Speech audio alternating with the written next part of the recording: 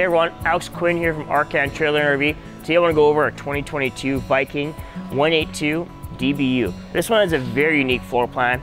It offers a lot of creativity in terms of space. So come on in, I'll kind of show you how it goes. So one of the cool things I love about this is the black gloss door. So this just creates a little, little sleekness to it as well. It does blend in very nicely with the silver and the gray. Um, you do have a lot of cubby space underneath that does extend all the way out to the other side, as well as overhead storage um, from there as well. Let's come over here. Solid steps, friction door, as well as an extension, extension of, of your grab handle as well. Just makes it easier to get in and out of. This one's also got a, a setup for outside kitchen. So most of the time, the outside kitchens will be underneath the bunks, um, where this one they were a little more creative. They also gave this nice uh, metal holder for your grill too, so that way it's not as flimsy, a lot more sturdier, um, easy to clean as well, which is really nice. They also gave you a ton of cubby space. So this is probably where you're gonna put all your, your big items, your grills, um, a lot of your hiking gear and stuff like that.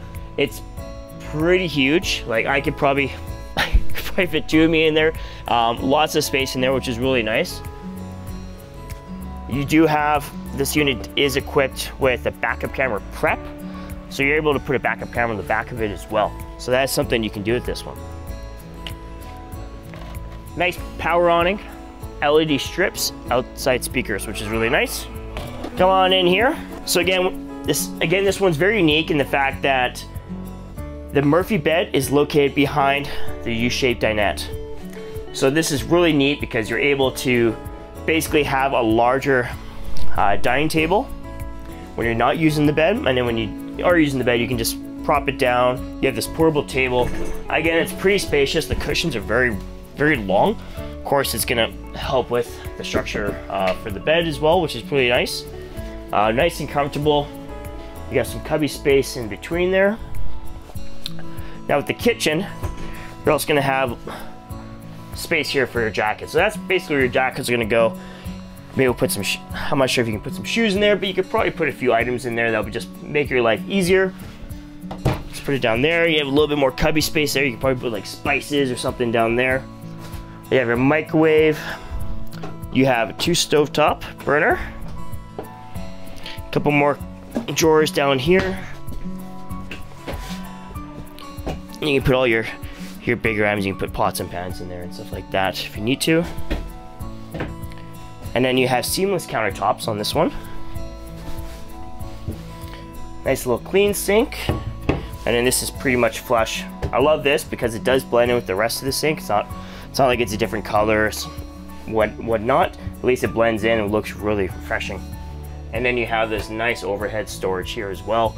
Uh, you could probably put the rest of your dry storage items in there. Central air. You have a deep TV backer here, so you can you can uh, mount a TV if you want. Bluetooth. You have all your your awning is there, and then you have some more space down below. You can put like your DVDs or your movies or anything like that that you want there. Over here we have a little bit more pantry space as well. This is a two-way fridge. Offers plenty of space. Nice large freezer as well. So you have lots of space there for the for your traveling. Now over here, we do have our bunks, and in and behind here we actually have another cubby uh, that just offers additional upper bunk storage. Maybe your kids have a bunch of things that they want to bring with them.